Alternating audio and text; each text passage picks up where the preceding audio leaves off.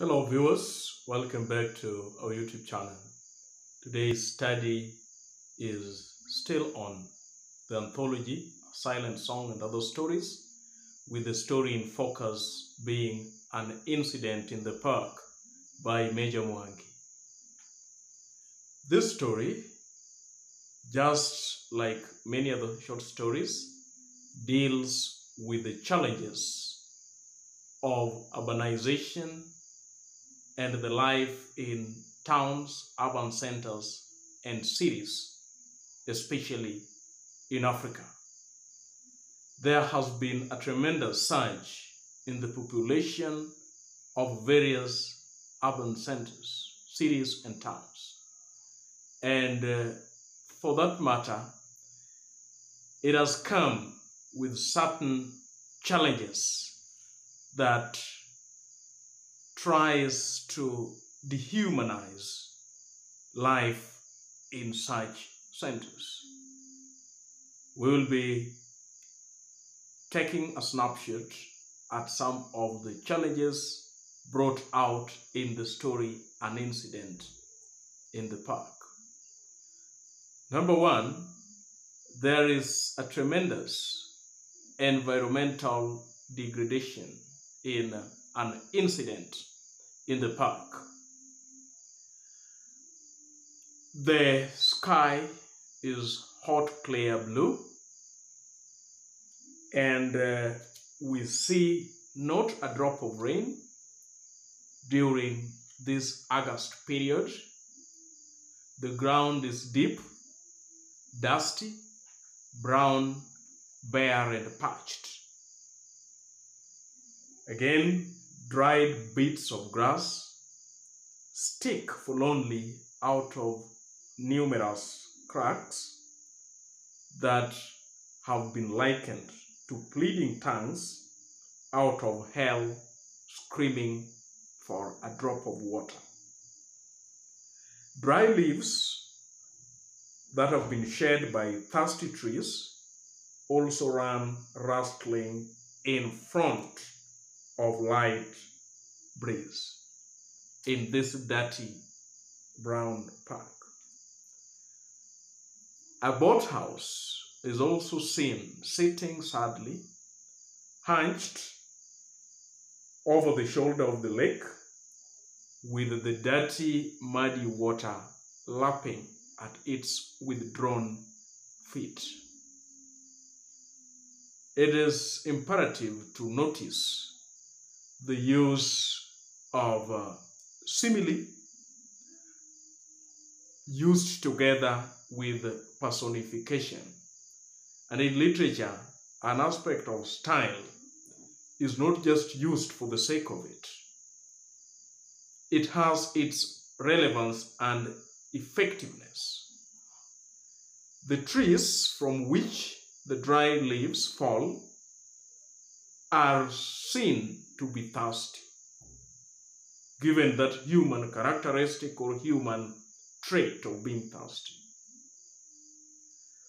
Then uh, we also see the drought taking a heavy toll in the park. The personification here highlights the neglect with which the park has been neglected. The various cities and the, uh, the various governments could have the economic resources to ensure that parks, which are basically and apparently the standards with which cities are being uh, measured the world over, some of the parameters which make a city a city, it is very interesting to see through the use of personification and similes the kind of neglect that has been given to the park. The environmental degradation here has been given the chance to have a field day without any sort of human intervention to ensure that the park remains in its state. This is also seen from the kind of management that the fish pond has been given. The fish, fish pond has been dangerously overgrown with weeds. The yellow, blue, and purple water lilies struggles with colorless weeds. Through contrast, we are told that the fish pond that had a blue and green surface sometimes back now has an ugly mishmash of pond weeds. Where pond flowers had stuck out their buds in colorful fingers and proclaimed order, now there is a riot of unclassifiable intruders with the bastard flowers. The park soil of the northern part of the fish pond has also collapsed and reclaimed it, thereby forcing the murky brown water and the bewildered fish back to the deeper, further end. It is quite ironical that a certain loafer who sits on a board that has been inscribed, do not fish, do not feed fish by order. That's the opposite of that. Tossing debris, tossing pieces of grass and rocks into the water and sniggering at that. Nobody comes to him, asks him why he is doing that. So there is a kind of environmental degradation in this park that has been aided by the neglect occasioned by relevant authorities. Again, there is uh, noise pollution in the city that has been brought out in an incident in the park. The noise pollution comes out in the form of uh, use of onomatopoeic words. The story mentions that cars brayed on the highway, brakes shrieked, ambulances wailed away, racing against death, trains whistled urgently. The onomatopoeic words here brayed, shrieked, wailed, whistle, bring out the chaotic effects of noise. And by the way, there is the use of onomatopoeia with the subtle infusion of personification because we know that it is the donkeys who bray, humans shriek, uh, humans wail, especially in times of death, and humans also whistle. So when cars are made to bray, brakes are made to shriek, ambulances are made to wail, trains are made to whistle, it creates a certain picture of chaos that come as a result of noise pollution in this city that represents many other cities across Africa. Viewers, as we continue, allow me to thank you very much for your support. Let me thank you for the subscriptions, the likes, comments, shares, and recommendations. To those who are visiting us for the first time, allow me to ask you to take a second or two and click onto that subscribe button so that anytime YouTube will notify you on the videos that we produce. The third challenge of the various cities is uh, what I tend to call the ambivalence of the town life. The town life is quite ambivalent that while some people enjoy the bounty of the town or the city life, others are stuck to their lives. And sometimes it's quite interesting that those who do not get to enjoy the bounties and the opportunities of city life, to which many run to various urban centers and run to cities in search of opportunities. Sometimes it is their own making that the people to blame for not taking part or not having a share in what the town has to offer. There are uh, workers who are working in ministerial offices and they have to pass through the park and go to the city. And we see them uh, crossing the highway and the waves of the people disintegrating into individuals and dispersing. Some rush to meet roasting places down River Road. Others join queues at the numerous fish and chips joints where they dutifully swallow soggy fried chips with watered down ketchup. And uh, they seem to be having it major in life, the living lives, the kind of meals that they are taking. But let us look at uh, this contrast. They are contrasted to the park loungers, who from the park grounds, if one lays facing east, then they are confronted with frowning faces of parliament and uh, city hall clocks. Every hour on the dot, the two clocks strike together, regulating the tired city's pulse and reminding the park loungers just how many hours they have been wasting lying idle.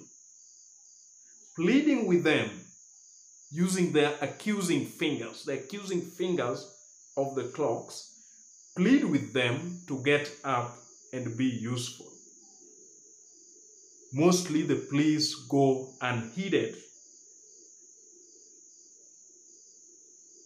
Many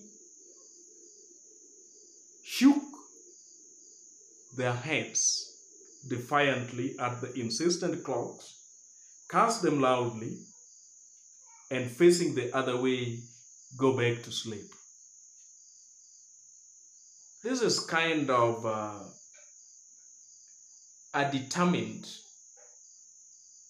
effort by the park loungers to remain complacent and not to seek out a way through which they can earn a living. And uh, that is why it now it, it does not come as a surprise when we see the two ice cream sellers, the ice cream men, fail to earn even a cent from their sale of the ice cream bars. Today, like yesterday and the day before, not one bar of the ice cream was bought by the hungry ones. And uh, this underscores the lack of strategy by the ice cream man. The loafer who throws debris, who throws stones and soil at the fish in the fish pond, later on confesses that the ice cream man insistently ringing his bell to no avail is not a strategist, that he ought to have gone and sold the ice cream to children, and that he is not going to make a kill by selling the ice cream in the park. But he keeps on going over and over again to do the same thing with the same results, which of course is not pleasant. There is also kind of uh, the stationary life, the stationary life at the park.